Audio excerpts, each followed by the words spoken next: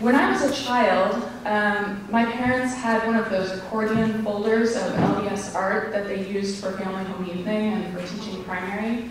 And I remember looking through the images again and again, unaware of the, um, the lessons that the art was silently teaching me. As an adult, I found that accordion folder and looked through the images again. What I notice now, with an adult perspective, is how women were portrayed in those images.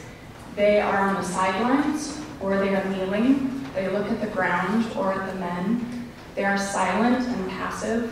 They are all physically beautiful and serene, and light-skinned. Um, there has been an increase in women's participation in the arts in recent years. Uh, I, my own experience was uh, approximately 10 years ago becoming the art editor for Exponent 2 and committing to have good art in every issue and struggling to find um, that art. And, uh, and now we have more art than we can use in every issue. Uh, I also see it in the LDS International Art Competition. I went through um, past the sort of the archives on their website and counted up names. In 1990, 20% of the women who were part of that, or 20% of the participants of that competition were women. In 2005, that was up to 42%. In the most recent one, 2019, it was 53%. Um, there is good research about what happens when women join boards of corporations or nonprofits. Uh, generally speaking, when there's a single woman, her voice is often ignored and she struggles with comfortably uh, using her voice in a space dominated by men. When there are two women, they are often treated as a single entity with the assumption that they have the same opinions and um, ideas that are interchangeable. It's not until you reach a critical mass of at least three women that they feel comfortable speaking up, disagreeing with the majority, and disagreeing with one another. And I believe that we're reaching uh, that critical mass tipping point for women in LDS art. Um, along with the numbers changing, what I'm witnessing is a change in the ways that women are represented in art. I don't believe that this is merely a simple, direct effect of having more women artists. I think it runs deeper than that. Having more women in the arts is allowing for more complex conversations to be happening within the LDS art community. Women are introducing topics such as Heavenly Mother that have been long ignored or taboo. They are creating art uh, in which the women are the focus of the image, the center of the narrative, uh, whether it is for scripture story, LDS church history, or portraiture. And they're looking at women's bodies as complex and diverse, not consistently gentle or beautiful or nurturing. Through this imagery, they are challenging the stories that we all tell about what it means to be female or feminine. Um, as I look at the art coming out today by LDS women, I see a few themes emerge that were not part, a part of the accordion folder of my childhood. Um, so the rest of my uh, presentation will be organized around those themes that I see um, coming up again and again in art coming out today. Um, all, almost all of this art has been published in the last six years um, in Exponent 2. The first category is women's relationships with women. Um, I call this the Bechdel, uh, Bechdel test for art. Um, for those of you familiar with the, the film test, it's this idea that do you have a single conversation that is a woman speaking to a woman about a subject that is not a man? Um, so these are images of women without men or children. Um, notice that the focus in each of them is on what is happening between the women. The first is Sisters by Galen Dara, Quilters by Kathleen Peterson. Again, notice the space between the women. This is Crown by Emily McPhee, a slightly darker theme. Uh, you're not quite sure what's happening with this crown. And then Robes by Louise Parker, um, of course, evoking Joseph and his coat of many colors. Next category, portrait, portraits of women. Uh, these are all women's uh, images that portray a single woman as the focus. And not only are women the focus, they are shown with some characteristics not typically associated with femininity. The first is humor. Uh, this is Coin Op and Self Critic, both by Corinne Gertsen. Uh, both of these take something slightly scary, like maybe making a reckless decision or the self-sabotaging that we sometimes engage in, and look at them with humor. The women here might be doing something dumb, but they are doing it boldly. Next is complexity. This is denial and acceptance by Heather Freitas. Uh, this pair go together, and to me, the woman featured here is going through complex processes of facing her own truths and being willing to speak them, and looking at how that changes her. Strength. This is uh, St. Christine the Amazing of Idaho by Sydney Wagner, and What Would You Do If You Knew You Could Not Fail by Emily McPhee. Um, you notice that they stand in power poses, they're looking directly at the viewer, they are unapologetic for the space that they are claiming. Um, Next category is women in scripture and at the center of scripture. While women have frequently been painted in images about scripture, these are a little different from what you may have seen. This is Three Days Esther, of Esther by Rose Datoc Dall. This image tells the story of Esther, um, making her struggle clear as well as her resolution. She is portrayed as both heroic and very human, struggling to make her decision, but full of strength once she does so. Enos 1-4 by Kristen Hulej. It's a little hard to see the figure at the bottom, so I, um, I, I, blew it up um, so that you can see it more clearly there. Um, there aren't many women in the narrative of the Book of Mormon, and many women that I know uh, find themselves searching for female voices in their scripture study. I love that the artist here simply wrote herself into the story of Enos, writing that at the time she painted her own, uh, at the time she painted this, her own soul was hungering, and she wrote, "We're all Enos at some point." So lacking a woman telling the story that she needed, the artist simply claimed space for herself in scripture. They Listened at the Same Time by Caitlin Connolly. Um, this unifies Adam and Eve, dressing them in the same robes of the priesthood and having them both listening to God and both holding the fruit of knowledge. Every piece of this indicates the equality in which Adam and Eve stand before the divine. And finally, The Armies of Shulamit by Molly Hatfield. Uh, Molly Hatfield created this illustration for Exponent 2 about a true story that happened during singing time in primary. When the chorister asked for a volunteer to help with the song, The Armies of Helaman, um, all the boys declined to help, and the teacher asked Jane if she would help. She stood up, snarled her 11-year-old snarl, and said, I will, but I am tired of all the songs and the stories being about boys. The boys around here don't even take the songs or scriptures seriously. I will help you, but I'm not Helaman, I'm Shelaman. well, a humorous story that speaks to how even our young girls are, in the absence of stories about them, simply changing the narrative. Women's History in LDS Church this is Beautiful Zion, built from above by our own Paige Turner.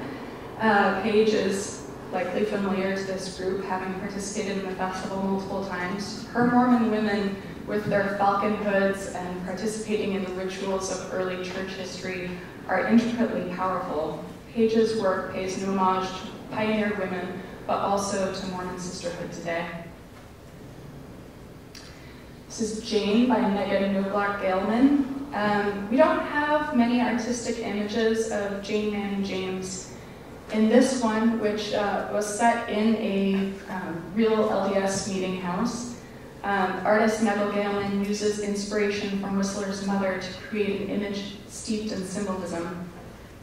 Uh, Jane sits in an LDS uh, building, there with the burlap uh, walls, and has a snake underneath her foot and a rooster by her side. The model used for Jane was the artist's former Sunday school teacher, who she said profoundly changed her life. This is Seer Bonnets by Angela Ellsworth. Uh, for this scripture store, a series, uh, sculpture series, Angela Ellsworth created 35 bonnets, one for each of Joseph Smith's wives, women who have generally been ignored and are telling of church history. Each bonnet has a different pattern made from thousands of corsage pins with the needle pointed inward. The artist wrote that these bonnets are meant to become the tools of translation which allow these resilient wives to see messages and translate them into visions. She imagines this community of women with their own visionary and revelatory powers as they pioneer new personal histories. And finally, Pioneer Ancestors by Rachel Farmer. About her tiny sculptures, Rachel Farmer wrote, our ancestors get tired of being so mythologized. They need a little break once in a while to just be human. These pioneer women have all the resilience of the Mormon pioneers, but they are also endowed with Rachel's own identity, a kind of reverse legacy through the generations. The next category I want to discuss is women's bodies. Women are increasingly portraying women's bodies with complexity and some ambivalence. Sometimes women's bodies may be beautiful, but they may also be sources of shame, discomfort, and pain. This is Woman Put Back Together Haphazardly and Woman with a Discombobulated Body by Laura Erickson Atkinson. These images by Laura uh, may feel familiar to women who have struggled to feel like their bodies were their own, particularly during pregnancy, like the one in um, Woman Put Back Together Haphazardly.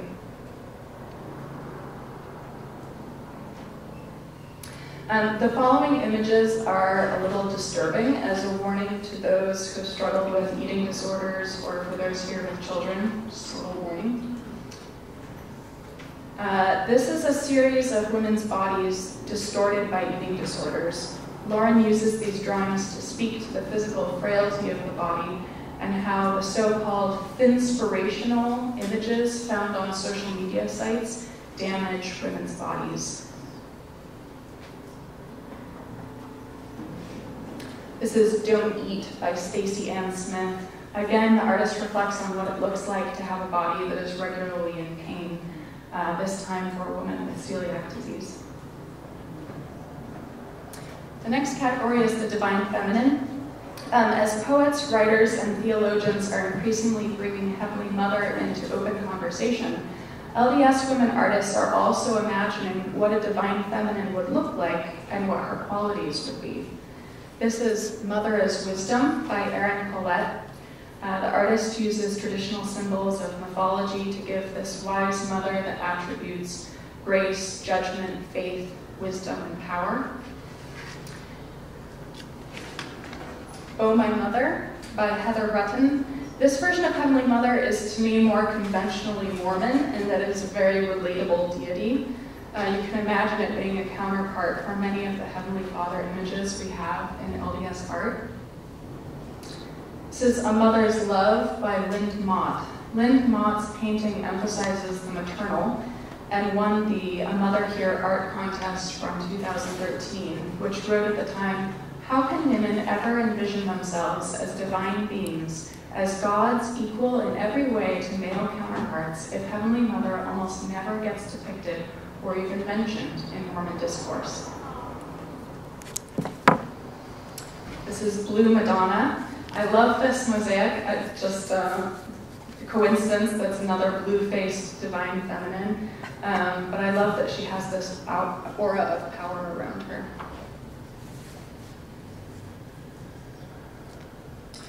Women of color. I'm not going to say much about this because Michelle has an amazing presentation she's about to give on this subject, but I do want to highlight three images. Um, this is My Relief Society by Karen Dudley. About this image, Karen wrote, Looking around my ward one Sunday, I longed to see sisters that looked like me, varying shades of mocha, brown sugar, caramel, and honey, full lips, coarse dark hair. It was important for me to raise a black daughter who could see herself in many varying shades of life, leadership, and success. She couldn't find that through LDS media, so I decided to create some of it for her. This is Ruth by Esther Hilalani Candari. And My Prayer by Kwani Povey Winder, which was on the cover of the most recent issue of Exponent 2. Um, in an effort to encourage and amplify the voices of LDS women of color artists, Exponent 2 has started an annual grant. Uh, the recipients of the grant this year include Elizabeth Sanchez, Esther Candari, Hannah Choi, Marlena Wilding, Kwani Povey Winder, and others. And if you're interested in being a part of this grant, please contact me as we're hoping to grow it uh, coming into the next year. The last category I'm discussing today is non-binary people. Artwork by LDS people exploring queer identities is a new development, a conversation um, that, frankly, Mormon feminists are just uh, starting to understand um, and take part in. The Shadow Side of Belief by Sydney Wagner. And Am I Not a Celestial Being by Eliza Crofts. This image by Eliza Crofts is particularly powerful to me. The person portrayed is dressed in white robes, has a saintly circle around the head, um, both significant symbolisms. The gold leaf obscures identity but also indicates royalty. Um, as more women enter the LDS art world, they are not only speaking up in ongoing conversations, they are actually changing the conversation.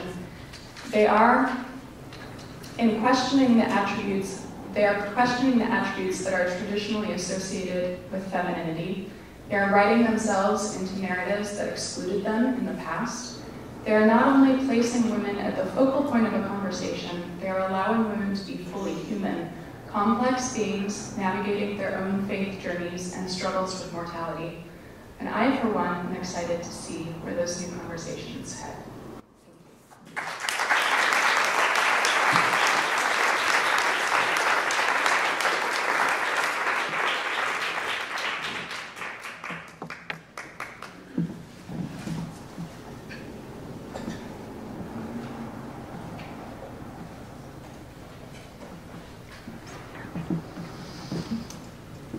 Ago, uh, Paige Turner and I, uh, the art editor of Exponent 2, decided to start an Exponent 2 art Instagram community. This is a space where we thought we could better connect with LDS women uh, that are creating artwork and to expand our network of the LDS artists that we were including in Exponent 2 as Margaret had mentioned from earlier experience, that wasn't always easy, and we had found ourselves often trying to rely on artists that we had built relationships with, but it wasn't necessarily representative of the, the breadth that we have in the community. Um, and since starting this platform, we've grown to a community of more than 800 followers, with the vast majority of those followers being women artists. That's really who we're focusing on attracting, and we're really using it as a networking tool in that space.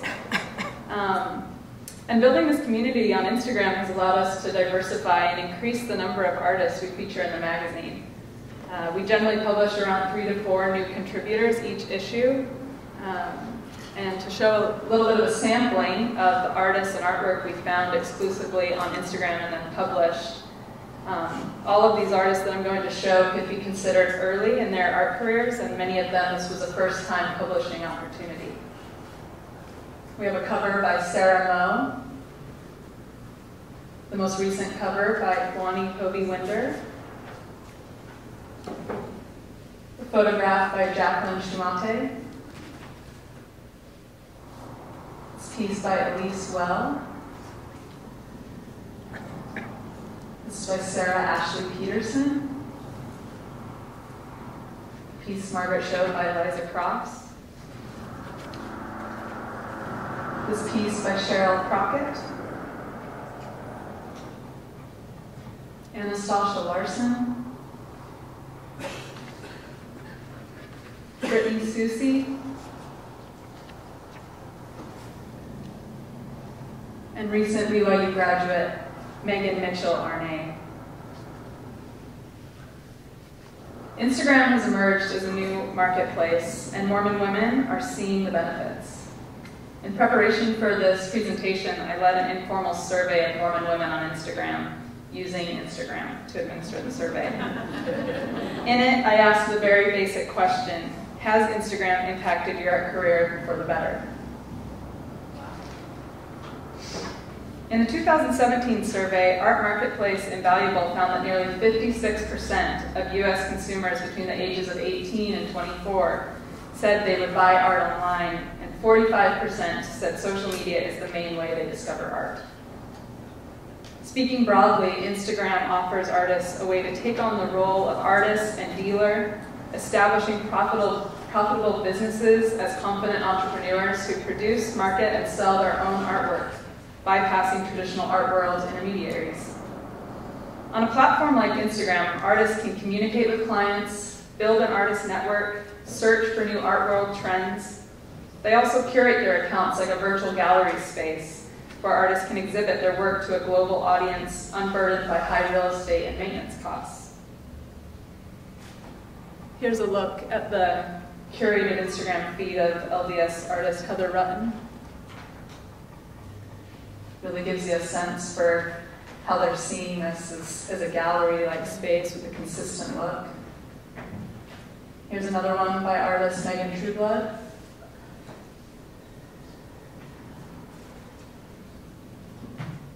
And this is artist Melissa Tshikamba, a, a shot of just the top of her Instagram feed. You'll see in these highlights she has her upcoming shows prints highlighted for sale, an in-depth look at her gold leaf process, and then she's advertising things like worldwide shipping, showing that she sees this as a, global platform and marketing broadly and a place to contact her for commissions and a link to promote her website and her body of work. In my response to the in response to my survey, one LDS artist said this. There's a freedom in publishing on Instagram without the traditional gatekeepers. So what does this freedom look like, and how are Mormon women utilizing it in their art careers? For many Mormon women, this means the flexibility to pursue an art career while working from home and managing family responsibilities. When I asked women in my survey what is the biggest challenge you face in your art career, many responses centered around juggling the roles of artist and mother. One respondent replied, professional association and recognition is critical and has been elusive for those of us at home. I'd like to highlight the work of Denise Gasser as an example of an artist who is utilizing Instagram to excel in this space. Denise is an LDS artist living in Vancouver, Canada, and is pregnant with her fourth child. She's been building an art career for over a decade. Five years ago, she began working on an art project that speaks to the tension that exists between what she describes as her vital roles as artist and mother. This series is made up of five by seven panels painted in a single sitting. She describes the project. For each panel, I painted without stopping until I was either interrupted or managed to finish. Often my stopping point was the moment I could not possibly continue painting through the interruptions. At that point, I stopped working and did not allow myself to revisit the piece. On the back of each painting, I documented the start time, the end time, and the interruption that forced me to stop. The duration of each painting ranges wildly from under two minutes to over two hours.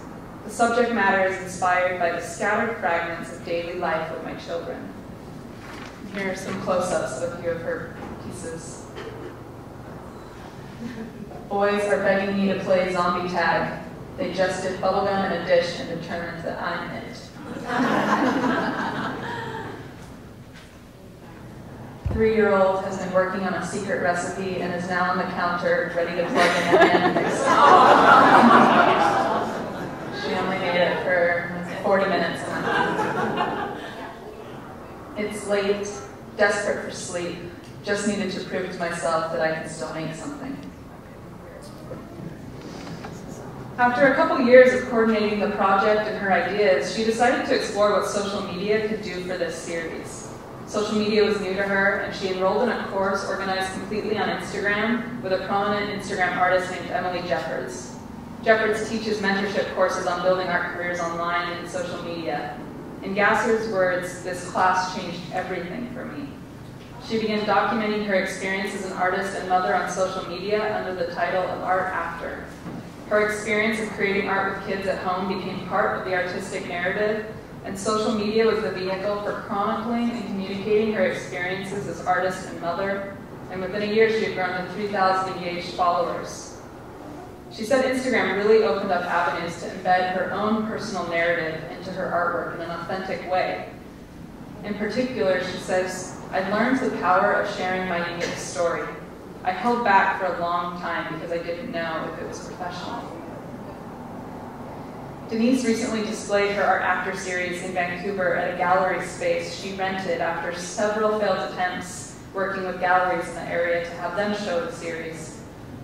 So she self-funded the gallery display and ended up tripling her investment in art sales. She had three women she had never met before travel to Vancouver to see her art show in person after they had been following along on Instagram for several years. She sold artwork in the US, Canada, New Zealand, and Germany within her first 48 hours. In addition to the flexibility of working from home, social media is giving Mormon women a space to pursue and fund entrepreneurial, artistic endeavors, and to network, and particularly in niche LDS communities and feminist circles. A great example of this is the creation of the artist book Woman Crowned, by Amber Richardson and Anna Killian.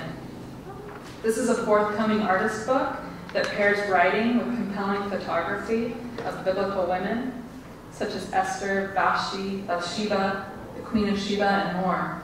The book aims to connect the reader with the many rich traditions surrounding Heavenly Mother.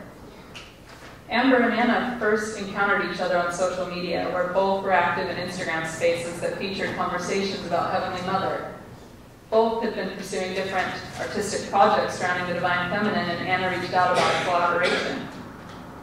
Social media acted as an inspiration hub for sourcing content ideas and poetic inspiration about the subject matter, and when it came time to produce and fund this series, Anna and Amber turned almost exclusively to social media to spread the word about their Kickstarter campaign.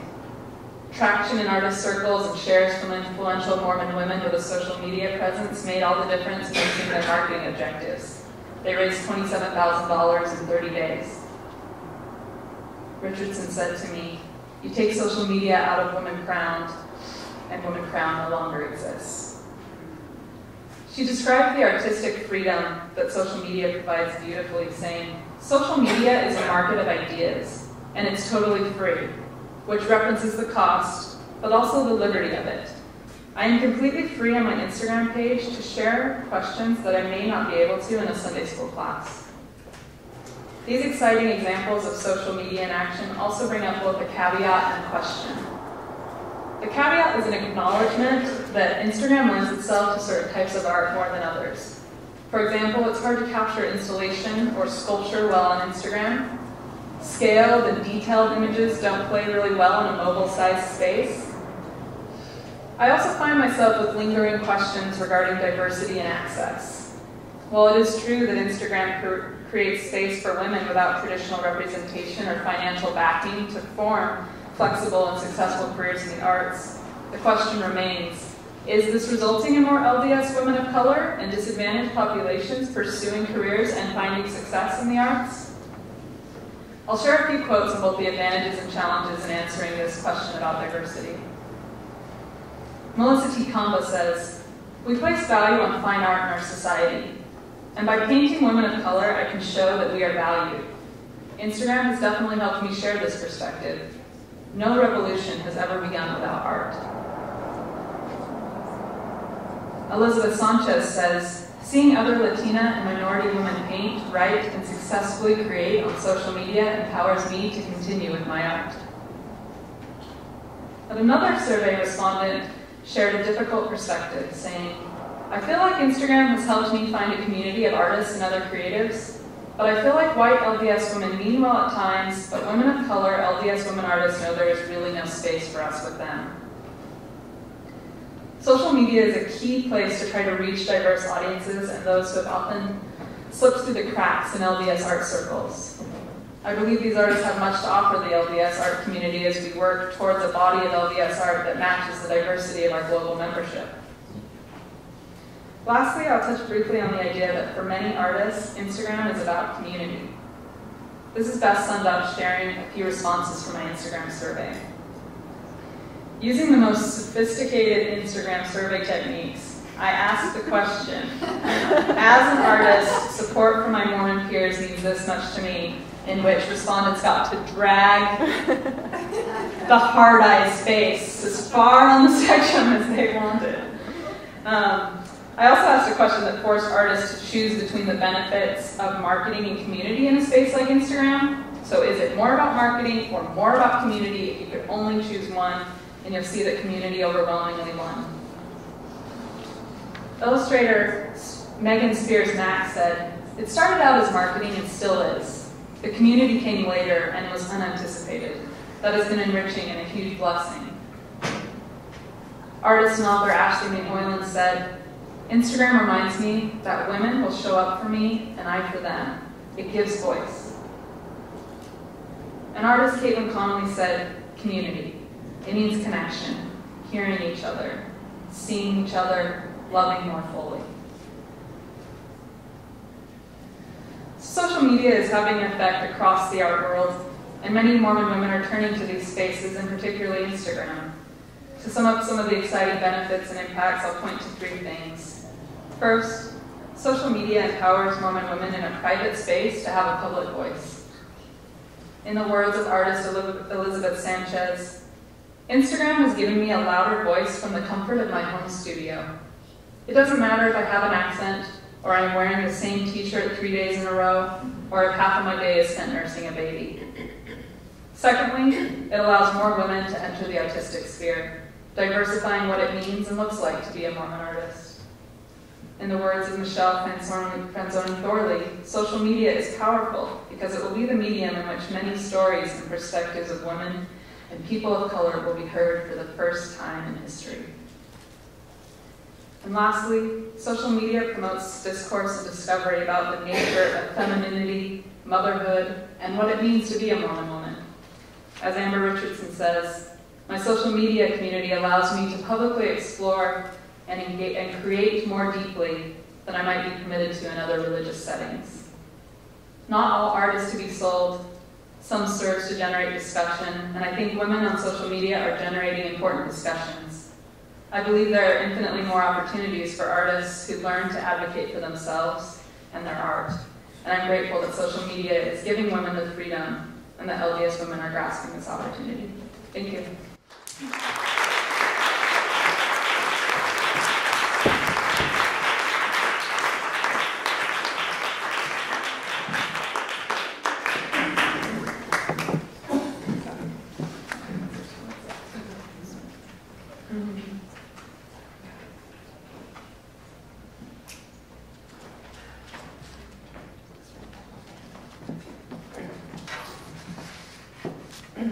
Uh, hello, my name is Michelle Franzoni Thorley, and to understand my presentation, um, you need to understand a little bit about who I am.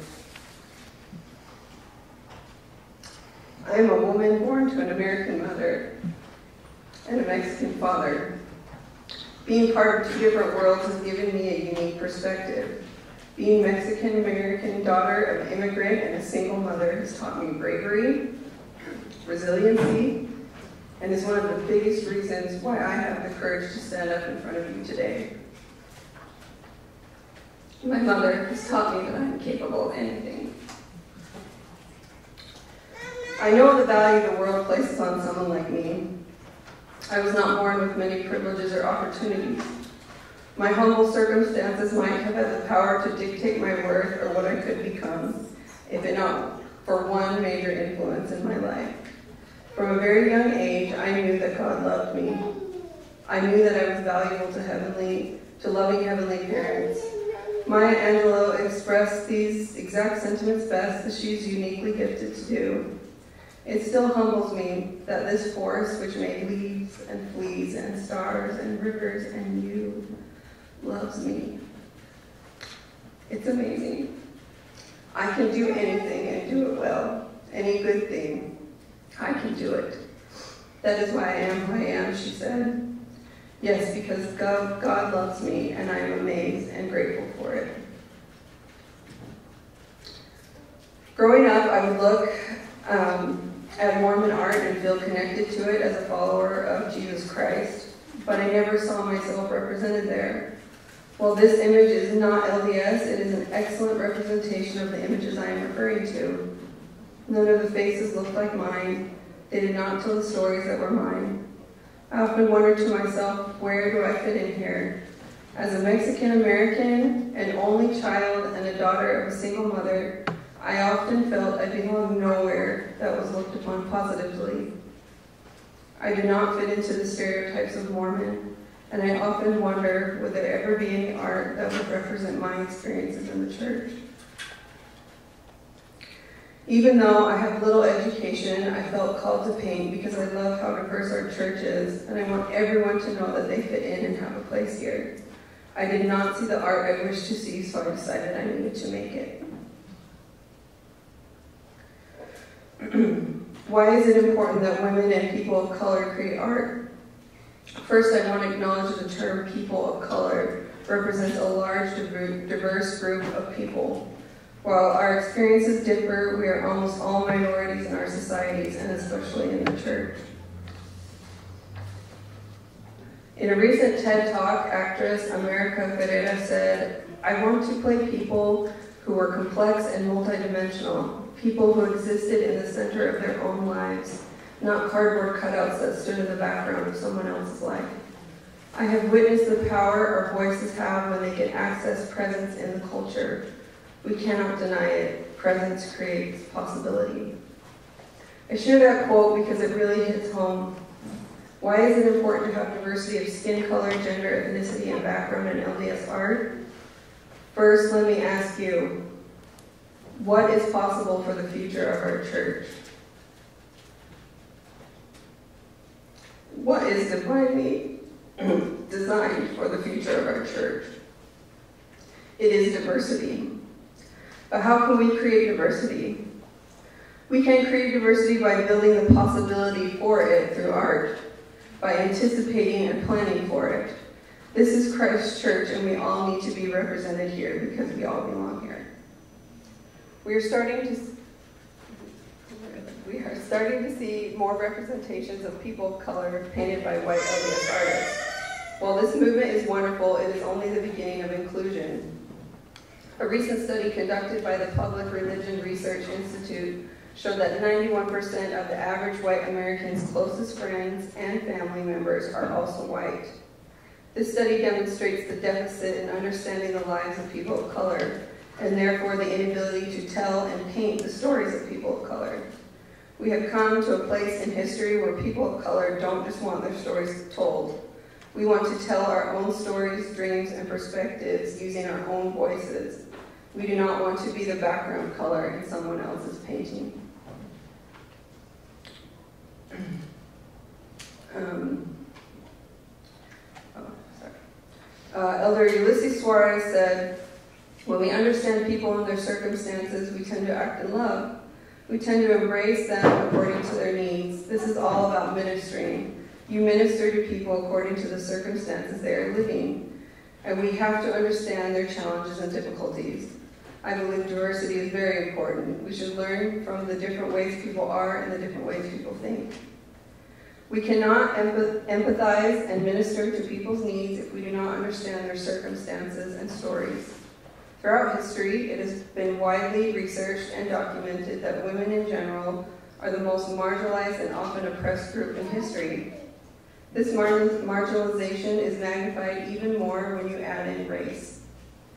All women, and especially women of color, understand opposition. As minorities, we need to be able to process, express, pray, and create art that is based and inspired by our own distinctive life experiences. Minority women have unique experiences with oppression. Our histories and experiences, our stories have been pushed into the shadows throughout all history. I get both excited and emotional when I think about women working out and sharing difficult life stories through art for the first time. A year ago, while working on my family history, I had a difficult time dealing with the atrocities my European ancestors inflicted on my indigenous ancestors. For many people of color, family history involves oppression, racism, slavery, and violence. It is really hard and depressing to confront these things. I was able to sit and paint as I worked out my feelings about this difficult subject. It began with a lot of anger, then a deep sadness that I felt in my bones. I understood that this violence, racism, and oppression has lived in my family for centuries, and that I still felt and saw the effects of it in my life and the lives of family members today. By doing family history and temple work, I was able to work through these difficult emotions and express my feelings on this process through painting and begin the healing process that my ancestors and I have longed for. Having our art match the diversity of our membership also helps our community by sending a message of inclusion.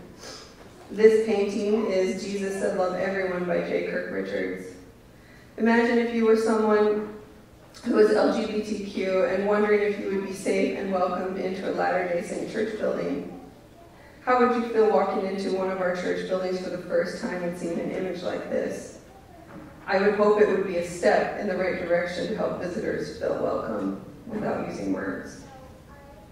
In preparation for this talk, I looked for a painting that would demonstrate a feeling of inclusion for women of color. It was very difficult to find. This painting, Morning's Hosanna by Rose Datoc Dall, a Filipina American, is very uncommon, which is saddening because this is exactly what we need to see more of.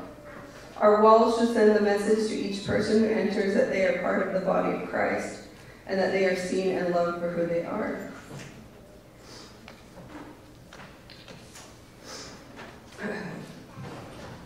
Why are there so few artists um, of color in the LDS community? For me, beginning to paint was a daunting task. I had to first believe in myself that I could teach myself how to paint. I had a palette knife and two, two tubes of paint. I was lucky enough to be given some used paint and brushes until slowly I could buy a few of my own supplies. I taught myself how to paint portraits using tutorials on YouTube. It took months and months to understand what I needed to do and get the supplies. I would watch painting tutorial after tutorial, and then at night after I put my kids to bed, I would try to imitate what I had seen. I had to guess on colors and values since I didn't and still don't quite understand all that. I had a lot of discouraging thoughts and feelings and little guidance on how to improve. It seemed impossible, but I did not want to give up. You may wonder why there are not more LDS women of color artists, particularly oil painters. While talent is universal, opportunities are not. Lack of educational opportunities and money to buy supplies are very real obstacles. The cost of the investment in resources is often too high for minority women who often struggle on the edge of poverty in our society. Food, bills, and medication are always going to come before painting supplies. This all becomes more daunting when you add in the confines of motherhood.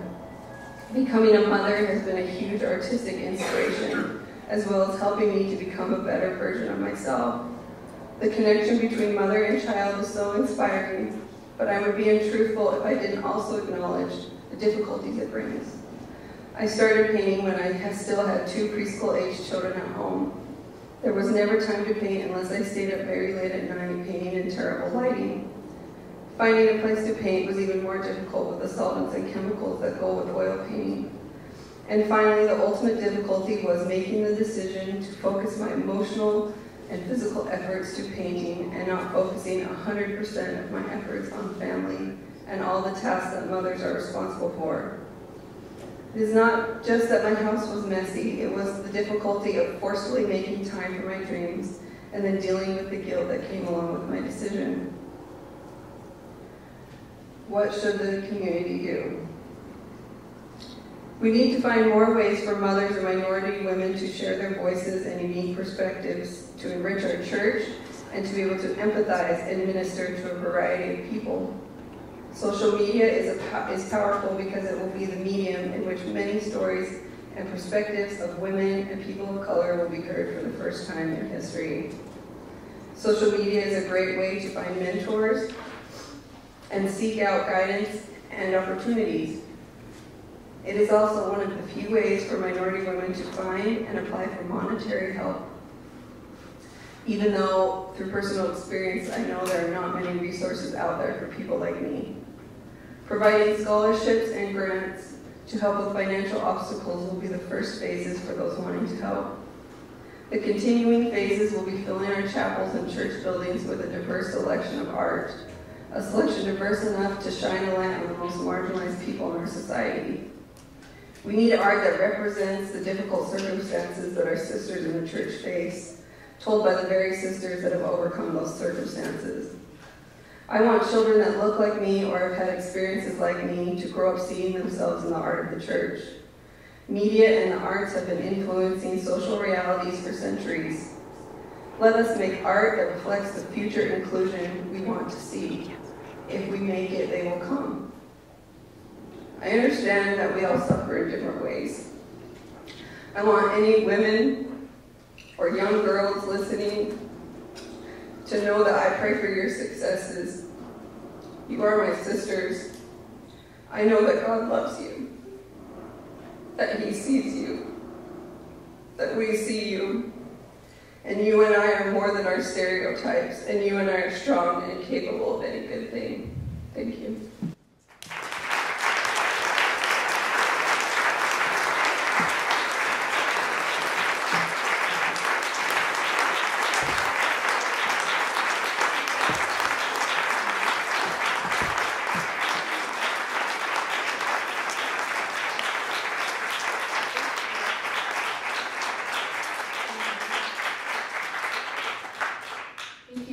we have about 10 minutes um, if anybody has any questions um, like to ask.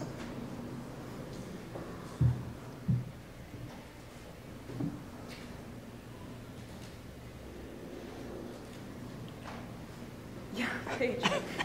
Rosie, would you speak to the um, the hashtags that you're seeing evolve on Instagram and maybe how we're recognizing uh, Mormon women artists, or could, could you speak yeah. to, to, to, the hashtag? Yeah, it's interesting. I, the hashtag space has been really influenced by the renewed focus on the name of the church, which is interesting. Um, you know, for a long time, like hashtag LDS art, kind of reigned, and now you, it, it's, it's interesting. It's like representative of the divided community. You'll still see kind of hashtag Mormon out, hashtag LDS art. You'll see the full name art um, at the end, and uh, so you kind of have to keep in mind on all those different spaces. One thing that I notice, um, you know, so so when Paige and I are sourcing art on Instagram, we're definitely following those, and it's a it's a source we use. You you have to use those tools to to find others that are reaching out to you by using those tags. But there also is um, definitely a lot of LDS artists that haven't necessarily um, decided to market themselves in that way. Um, you know, so they will they're using social media to market their careers, but they're using other types of phrases to attract attention or different types of hashtags. And that's something that Paige and I have been really interested in and was, it was a motivation for starting the Exponent 2 Art Instagram community was to set an example that by using phrases like hashtag Mormon Woman Artist or hashtag LDS Art, um, hashtag MoFem Art, um, and you know, whatever it is, that we're kind of trying to set an example, that you know, that other artists can, can, consider whether that is a part of their identity or a market that they want to be a part of or if they want to own that space. And kind of by seeing it, seeing those hashtags being used, then it kind of opens up that possibility, which allows more discoverability within the LDS community. So. Michelle, could you also maybe speak to women of color identifying with hashtags? Well, on social media broadly. Instagram. I, I don't know too much about hashtags, but it's just finding each other. You know, like for me, I live in a mostly white community, and so just finding other women that this art resonates with or who have had the same experiences that I've had that we'd never meet or find each other if it wasn't for social media. And that um, is so powerful, like, especially when I can paint about something, for example, this painting of losing a child, um, and then connecting with those people on that hope that they will see that child and hold that child again. And people from all over the country, all over the world, and it's so empowering and um, beautiful. Any other questions? Okay, so I'm curious about, sorry, I'll stand up. Um, I'm curious about the process of, uh, art moving into the institutional canon. So we've been talking a little bit about, um, the art in the meeting houses, for example, or the, um, the accordion folder that, um, you know, that we get from the distribution center. Um, and so I'm interested in what, um, I mean, I know that there's like a, a set institutional process, but what is the road ahead for us to include some of this art um, in a more official setting, or do we even want that? I have. Um, one of the things I talked about is if you you could make people feel welcome without using words through art, and I think getting a feel for the community that is around the local ward, the chapel, maybe even finding local artists. So right when people know, they know this is this is a home for me. Like I feel welcome here. I, I feel like that would be so strong, and I visited a couple chapels and where they have broken from the mold and they have like a unique art piece in there and just how beautiful it is and special it is. And I know like uh, they uh, the church does that with temples where you know the, the temple is very unique to the area and the art usually also. Why can't we see that more in our church buildings? I would add to that that I think this is going to be um, a process of, of art sort of coming into different buildings um, before. I think the meeting houses will probably be the last um, buildings to get this art. Um, I'm seeing things in like the, the DC Temple Visitor Center having events in which they're featuring this kind of art. Um, the LDS art competition this year had, um, as I said, many women and several people of color. Um, like Michelle said, that even the temples are gradually getting some of this. Um, but we have not crossed that barrier of, yeah, having the widely distributed, um, you know, sort of the images that go into widely marketed church publications or, you know, are sent to the church buildings to be hung up on the walls. We haven't crossed that. And I, I'm hoping it's just getting to the tipping point of being in those other places. We finally get to, uh, to the meeting houses. Thank you all. I am wondering if building community is such a big um, goal for us as uh, female or women, wherever you are on the gender spectrum identity. Um, I'm, I'm wondering if there are maker spaces or diverse maker spaces or places that we can gather in community with scholarship for those who have issues coming together um, in travel. But are, is there something like that that exists for artists who are, who are making about this topic?